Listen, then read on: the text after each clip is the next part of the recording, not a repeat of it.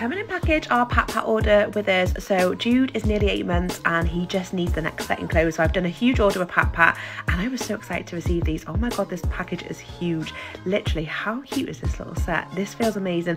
Oh my God, can't wait for this on holiday. He's gonna look adorable. We've got a christening coming up. So I wanted to get something so he can look, oh my gosh, I can't even cope with the bow tie like that. I'm sorry, no. These were like so cheap as well, girls. Like the quality feels amazing.